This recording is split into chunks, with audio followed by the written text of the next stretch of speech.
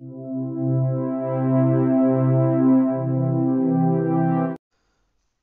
evening friends welcome back to our YouTube channel आज हमारा fifth topic रहने वाला है इंडियन आर्ट एंड कल्चर का। ठीक है? जिसका नाम है letter mural traditions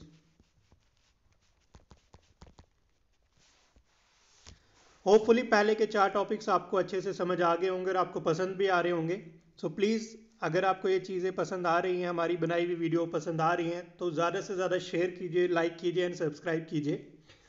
Now moving on to the topic later mural traditions को पढ़ने से पहले हमें पहले पता होना चाहिए कि आखिर ये म्यूरल्स होते क्या हैं, ठीक है?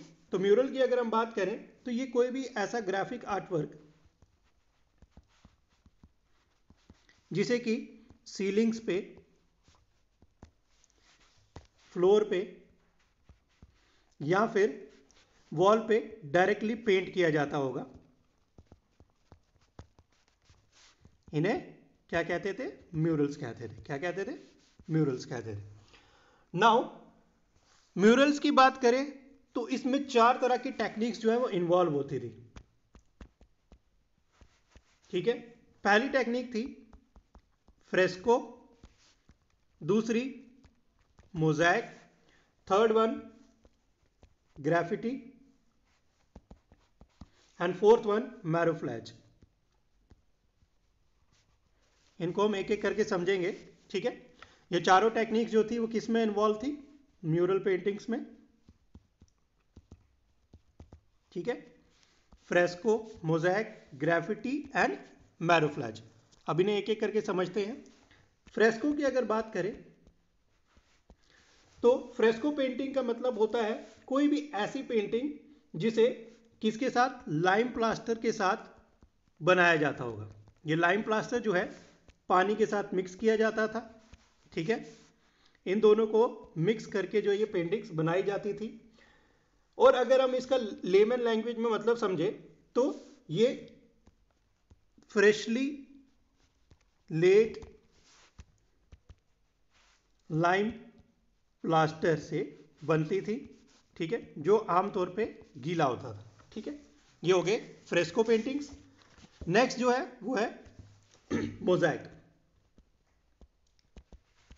मोजैक पेंटिंग की बात करें तो ये क्या होते थे, ये पैटर्न्स टाइप की इमेजेस होती थी पैटर्न होते थे, जिन्हें छोटे छोटे इरेगुलर पीसीस से बनाया जाता था कलरफुल स्टोन्स या ग्लास से। इरेगुलर पीसीस यूज़ किए जाते थे। कलरफुल स्टोन्स के ग्लास के या ceramic fine next is graffiti graffiti की बात करें तो ये रिटर्न पेंटेड या फिर ड्रॉन किस्म का आर्ट होता था, जिन्हें वॉल्स पे किया जाता था। Fine next is marouflage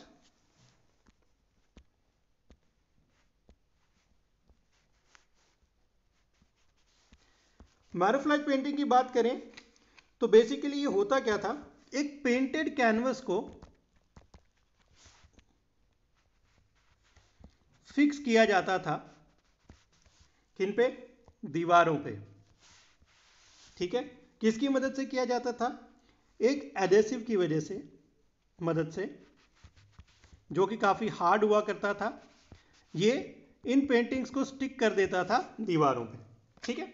इसकी जितनी ज़्यादा हार्डनेस बढ़ती जाती रही ड्राई होते होते, ये उतना ज़्यादा क्या करता था? इमेजेस को फिक्स कर देता था दीवारों पे। फाइन तो ये चार टाइप्स हो गए म्यूरल्स के। नाउ जो हमने पढ़ना है दैट इज़ कुछ इंपॉर्टेंट साइट्स के बारे में। जो कि म्यूरल ट्रेडिशन से रिलेटेड है। सो so, इनमें सबसे पहला नाम आता है बादामी का। फाइन बादामी जो है ये कर्नाटका में है। Okay okay? कर्नाटका जैसे कि आपको पता होना चाहिए कि ये जो बादामी स्टेट है कर्नाटका का ये पहले कैपिटल हुआ करता था चालुक्य डायनेस्टी का। चालुक्य डायनेस्टी का। ठीक है? मोस्ट इंपो अगर हम स्पेसिफिकली कहें तो वेस्टर्न चालुक्य डायनेस्टी का। ठीक है? तो ये जो वेस्टर्न चालुक्य डायनेस्टी थी it ruled here from 548 to 598 AD ठीक है? वेस्टर्न चालुक्य डायनेस्टी का ये रेन रहा था बदामी में। ओके नाउ जो यहाँ पे इंपॉर्टेंट चीज़ नोट करने वाली है that is Chalukya king.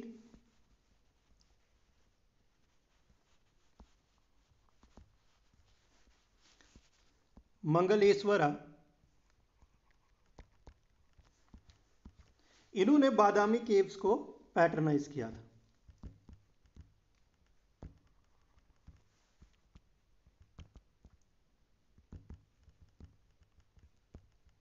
Fine कि बादामी केस को पैटर्नाइज करने वाले किंग का नाम क्या था? मंगलेश्वर। ठीक है? या फिर आप कह सकते हो मंगलेश्वर। यहाँ पे भी लिख देता हूँ, मंगलेश और मंगलेश्वर। फाइन नाउ यहाँ पर एक केव पाई गई है that is cave number four वहाँ पे डेट मेंशन की गई है अराउंड 578-79 एडी की। ठीक है? दूसरी चीज़ यहाँ पे कंफर्म होती है केव में कि ये जो टेंपल था it was dedicated to Vishnu fine और इससे यह साबित होता है कि जो चालुक्यन डायनेस्टी थी इस टाइम पे, वो वैष्णव ट्रेडिशन को फॉलो करती थी। Okay okay? और इसी वजह से जो है, इन केव्स को वैष्णव केव नाम से भी जाना जाता है या विष्णु केव नाम से भी जाना जाता है।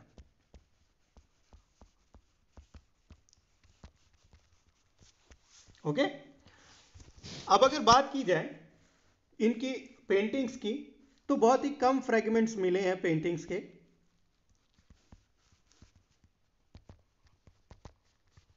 आर लीस्ट फाइन ज़्यादा पेंटिंग्स हमें यहाँ पर देखने को नहीं मिलती है। इनकी दीवारों पे या रूफ पे। ओके अगर बात की जाए, ज़्यादातर जो पेंटिंग्स हैं, वो पेंटिंग्स जो हैं, वो पैलेस सीन्स को डिपिक्ट करती है। राजा के पैलेस सीन्स को जो है, काफ़ी सारी पेंटिंग्स जो है यहाँ पे डिपिक्ट करती हुई दिखाई गई हैं। ठीक है?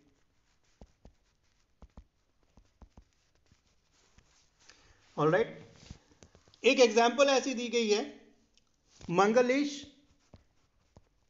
जो किंग है, उनके बड़े भाई कीर्ति वर्मन एक पैलेस में बैठे हुए दिखाई दिए गए हैं। ठीक है? अपनी पत्नी के साथ और अपनी फ्यूड्रेटरीज के साथ एक डांस सीन को देखते हुए उन्हें दिखाया गया। ठीक है? सो so, यहाँ पे इस चीज़ का काफ़ी ज़्यादा इंपॉर्टेंस हो जाता है कि ये जो डायनेस्टी जो है इनके एविडेंस मिले इन जगहों से इन केव से जिससे कि ये प्रूफ मिलता है कि ये जो डायनेस्टीज है इस टाइम पे यहाँ पे रूल कर रही थी ओके नाउ फेशियल एक्सप्रेशन की बात करें।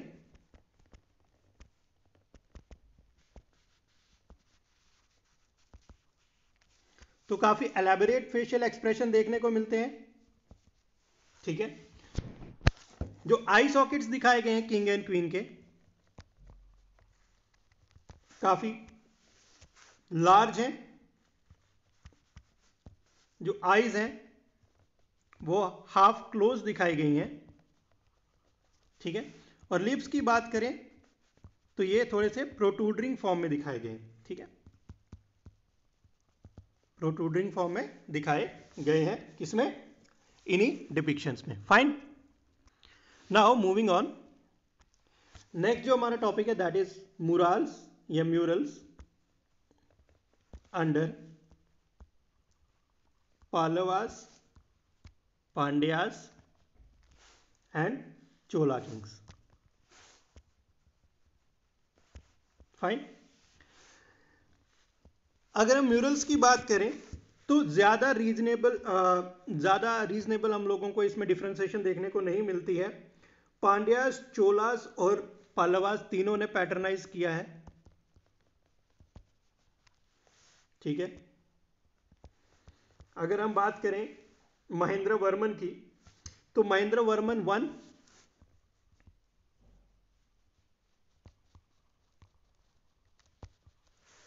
इन्होंने सेवन सेंचुरी में काफ़ी सारे टेंपल्स यहाँ पे कंस्ट्रक्ट करवाए हैं। ओके। महेंद्र वर्मन के रेन के अंदर।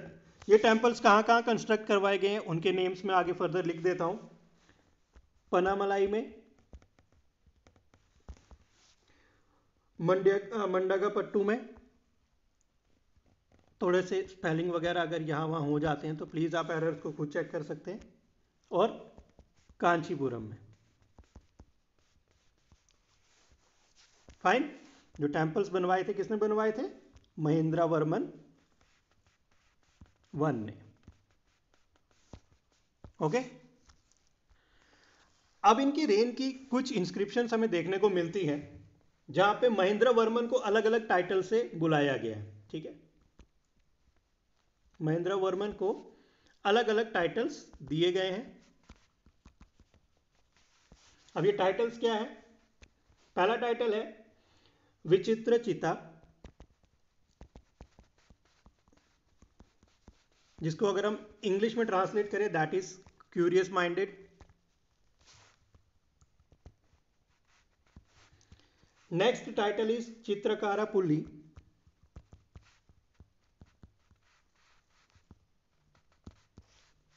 जिसका मीनिंग है tiger among artist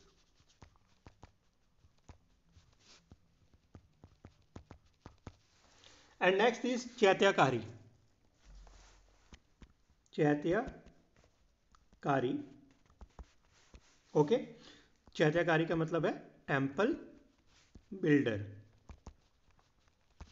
एक बार रिपीट कर देता हूँ. Number one is Vichitra Chitta curious minded number number second is Chitrakara Puli tiger among artist and number third is Chaityakari temple builder okay? Right. Now next is, एक figure मिला हुआ है पन्नामलाई में।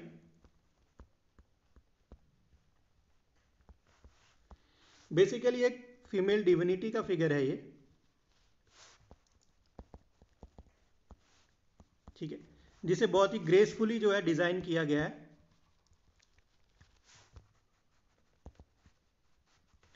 एक इंपॉर्टेंट फीचर है ये, महेंद्र वर्मन के दौरान जो बनाई गई। पेंटिंग है उनका ओके कुछ पेंटिंग्स जो हमें कांचीपुरम टेम्पल्स में भी देखने को मिलती हैं। कांचीपुरम में जिनको पैटर्नाइज जो था, वो पलवा किंग्स ने किया था।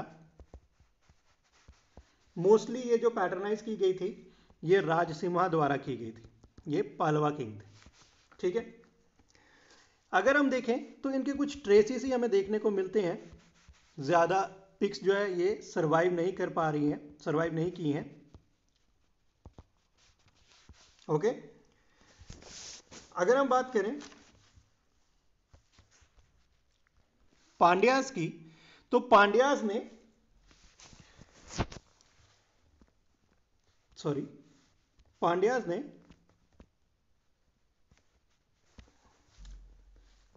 तिरुमलाईपुरम में तिरुमलाईपुरम। में केव्स हैं, उनको पैटर्नाइज किया था, ठीक है? और एक और जगह है सितन वासल। यहाँ पे कुछ जैना केव्स देखने को मिलती है। उनको भी पांड्याज ने ही पैटर्नाइज किया था। यहाँ पे इंपॉर्टेंट जो है दैट इज़ सितन वासल। तो हम सितन वासल केव्स के बारे में पढ़ेंगे। तो सितन वासल केव्स की जो पेंटिंग है यहाँ की पेंटिंग्स आप सीलिंग्स पे देख सकते हो। ठीक है? काफ़ी ज़्यादा क्लियर दिखती हैं क्लियर है, ठीक है? विजिबल है ऑल राइट रिकग्नाइजेबल है, ठीक है?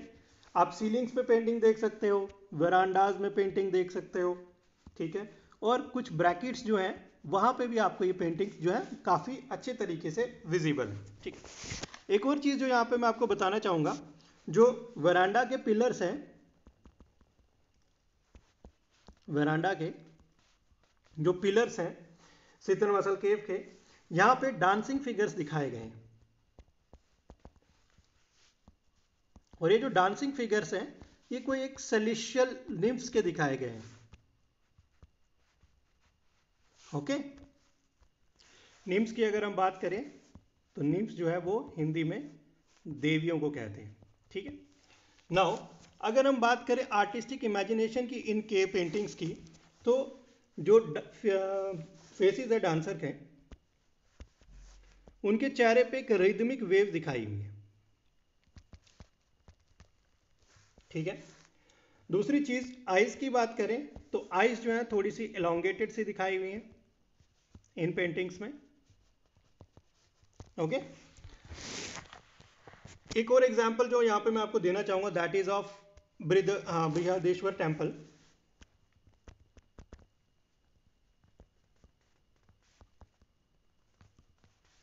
ये टेंपल थंजावुर में है।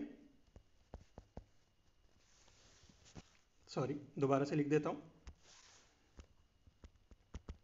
बृहदेश्वर टेंपल थंजावुर में है। ठीक है? उसके अलावा गंगई कोंडा चोलापुरम,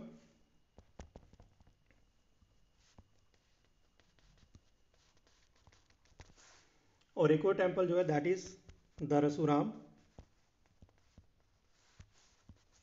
ये चोला डायनेस्टी के पैटर्नाइज्ड टेम्पल्स हैं। बृहदेश्वर टेंपल जो थंजावुर में है, गंगाई, कोंडा, चोलापुरम और दरसुराम जो हैं, इन्हें पैटर्नाइज करने वाले किंग का नाम राजा राजा चोला एंड राजेंद्र चोला है। ठीक है? दोनों जो हैं, ये चोला डायनेस्टी के बड़े पॉपुलर रूलर रहे ओके चोला पेंटिंग्स की अगर हम बात करें तो चोला पेंटिंग्स आपको और भी सारी जगहों पर देखने में मिलती हैं, ठीक है? जैसे कि एक और जगह है, नारता मलाई।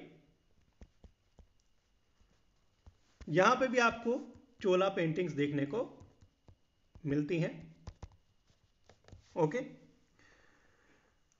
बृहदेश्वर टेंपल के बारे में एक और इंपॉर्टेंट चीज़ जो मैं आपको बता रहा था, वो ये है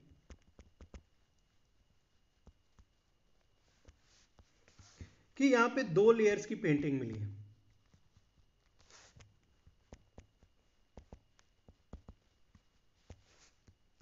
ठीक है? जो इसकी दीवारें हैं बृहदेश्वर टेंपल की, यहाँ पे दो लेयर्स ऑफ़ पेंटिंग मिली हैं। और जो अपर लेयर है, ये लेटेस्ट है।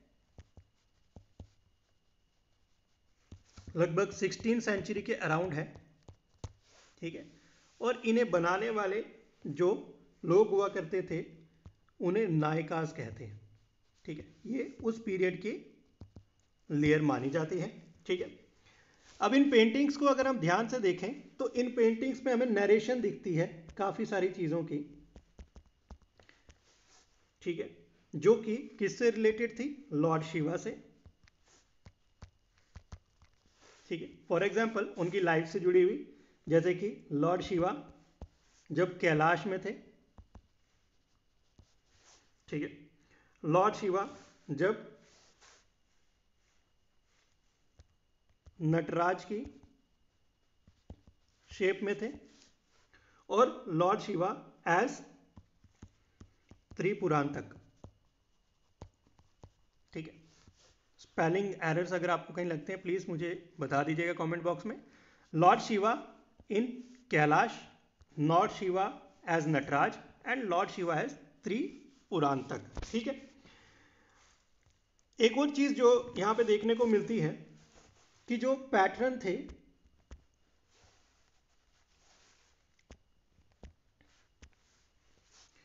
राजा राजा,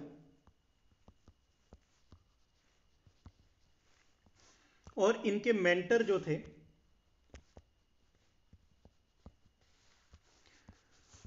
जिनका नाम कुरुवर था दोनों के आपको पोर्ट्रेट देखने को मिल जाएँगे यहाँ पे।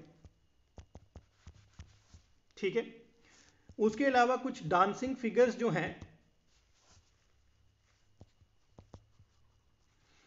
वो भी आपको यहाँ पे बृद्धेश्वर टेंपल में देखने को मिल सकते हैं। ठीक है? एक और चीज़ जो यहाँ पे डिस्कस करना मेरे को इंपॉर्टेंट लग रहा है दैट इज़ कुछ पेंटिंग्स जो है वो हमें देखने को मिलती हैं। तिरुपराकुरम में।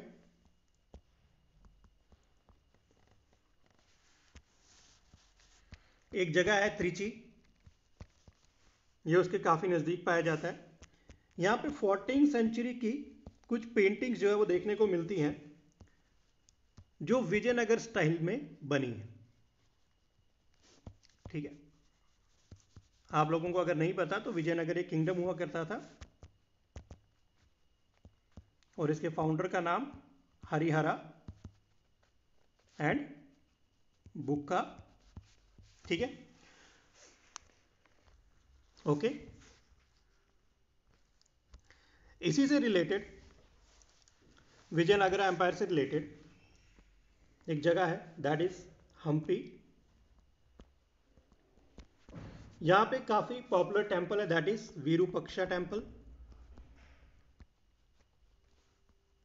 okay Virupaksha temple की बात करें तो इसके सीलिंग्स पे,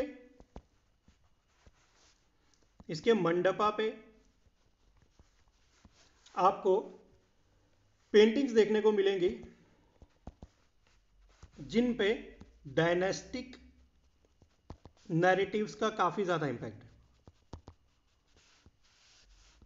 काफ़ी सारी डायनेस्टिक नैरेटिव्स जो है, वो वहाँ पर देखने को आपको मिल जाएँगी। ओके उसके अलावा डायनेस्टिक नैरेटिव्स के अलावा, वीरूपक्षा टेंपल में आपको महाभारत और रामायण के कुछ एपिसोड्स भी जो हैं, वो नरेट करते हुए दिखेंगे through paintings fine okay now एक और जगह है, जहाँ पे एक टेंपल है दैट इज़ लिपाक्षी ये हिंदूपुर आंध्र प्रदेश में पड़ता है। आंध्र प्रदेश ओके यहाँ पे आपको काफ़ी सारी विजयनगर एम्पायर से रिलेटेड विजयनगर स्टाइल में पेंटिंग्स देखने को मिलेगी। ठीक है? ये जो लेपाक्षी टेंपल है, इसकी वॉल्स पे आपको जो पेंटिंग्स देखने को मिलेंगी, वो रिलेटेड है शिवा से। Okay now Nayaka style of painting की अगर हम बात करें तो नायका स्टाइल ऑफ़ पेंटिंग ज़्यादातर आपको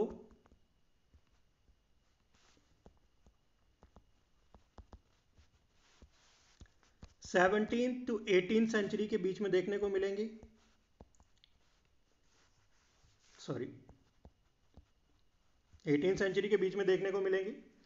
मोस्ट प्रोबेबली ये पेंटिंग जो है आप कहाँ पर देख सकते हैं, पाई जाती है, Srirangam. Okay Tiruvar and last is Thirupparankundram okay Thirupparankundram की अगर हम बात करें तो जो पेंटिंग्स यहाँ पे पाई गई है,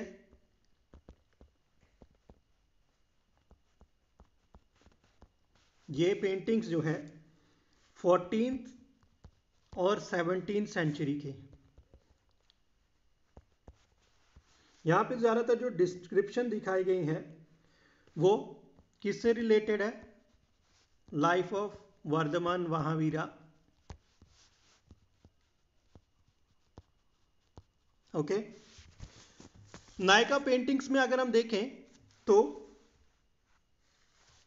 नेक्स्ट पेज पे बता देता हूँ।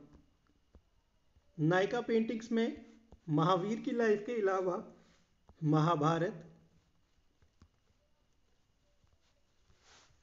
रामायण,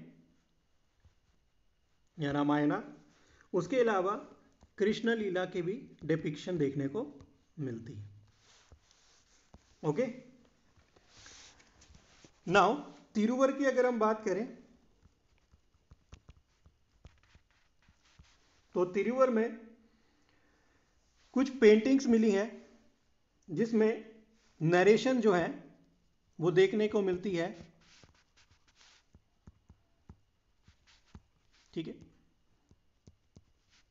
मुचुकुंडा की स्टोरी की। ओके तिरुवर में मुचुकुंडा स्टोरीज की नरेशन देखने को मिलती है okay now coming to another point कुछ पेंटिंग्स जो है हम लोग चिदम्बरम में भी देखते हैं ओके यहाँ पे जो पेंटिंग्स हैं, उसमें जो नरेशन दिया गया है वो शिवा और विष्णु से रिलेटेड है। कुछ एग्जाम्पल्स दे देता हूँ मैं आपको। For example Shiva as Bhikshatana is shown depict is depicted in Bhikshatana murti is depicted in these paintings and Vishnu as Mohini is depicted as Mohini. Okay? ये डिलीट हो गया। दोबारा से यहाँ लिख देता हूँ। Shiva as Bhikshatana,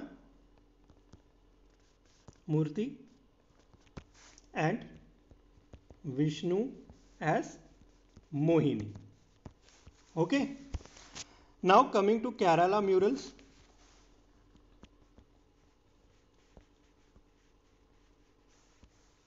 okay Kerala murals की अगर हम बात करें तो 16 से 18 सेंचुरी के बीच में ये म्यूरल्स जो हैं, काफ़ी ज़्यादा इवॉल्व हुए। ठीक है? ज़्यादातर जो इनकी टेक्निक थी, वो देखने को मिली पिक्टोरियल ठीक है? पिक्टोरियल लैंग्वेज का इन्होंने काफ़ी ज़्यादा इस्तेमाल किया है। ज़्यादातर जो पेंटिंग्स हैं, वो कहाँ पर देखने को मिलती हैं? श्राइन की वॉल्स पे क्लॉइस्टर वॉल्स पे टेंपल की, ठीक है? क्लॉइस्टर का अगर मतलब समझना है तो क्लॉइस्टर जो है, ये एक ऐसी जगह होती है जहाँ पे रिलीजियस एक्लूजन की जाती है। For example monastery okay cloister का मतलब क्या है? A place of religious seclusion okay अगर हम केरला म्यूरल्स की बात कर रहे हैं तो यहाँ पे जो नैरेटिव्स है, जो नैरेटिव्स दिए गए हैं, वो ज़्यादातर हिंदू मैथोलॉजी से लिए गए हैं। ठीक है? जो कि पॉपुलर थे केरला में काफ़ी ज़्यादा, उस टाइम पे। मोस्ट इंपॉर्टेंटली महाभारता से काफ़ी सारे नैरेटिव्स जो हैं वो लिए गए हैं और रामायणा से भी। ठीक है? जो नैरेटिव्स हैं हिंदू मैथोलॉजी के, जो उस टाइम पे केरला में पॉपुलर थे, जिनके एग्ज़ाम्पल क्या है? महाभारत एंड रामायण। ठीक है? नाउ अगर बात की जाए लगभग 60 साइट्स आज तक जो है म्यूरल पेंटिंग्स की मिली है इस बात को ध्यान में रखिएगा कि लगभग 60 साइट्स जो है आज तक 60 से ज़्यादा ही लगभग जो है आज तक मिली है और ये तीन जगहों पे मिली ठीक है? अभी कहाँ कहाँ पे मिली है? मैं आगे लिख देता हूँ। पहला जो है that is Dutch palace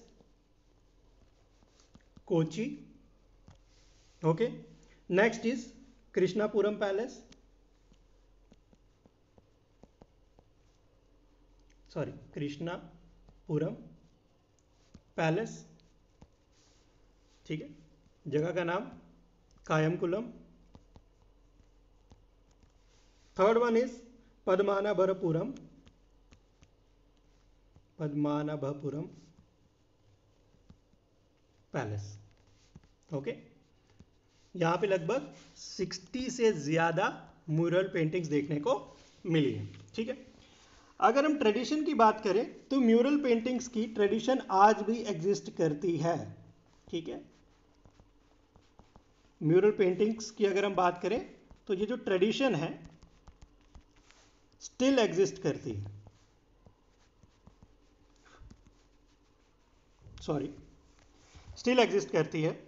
India के अलग अलग हिस्सों में। ठीक है? फॉर एग्ज़ाम्पल अगर हम बात करें तो गुजरात एंड राजस्थान में गुजरात एंड राजस्थान में इस ट्रेडिशन को पिथोरो बुलाया जाता है। ओके? बिहार की बात करें, बिहार का एक रीजन है, मिथिला रीजन वहाँ पे इसे मिथिला पेंटिंग के नाम से जाना जाता है। Another example is